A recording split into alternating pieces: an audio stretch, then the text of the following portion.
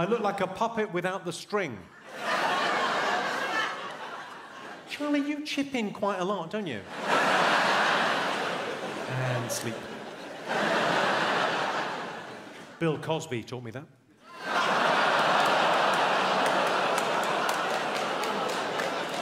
He's not going to like what happens next. Scientists say the largest sexual organ in the body is actually the mind. But that's only because those scientists haven't seen Charlie's mum's fanny.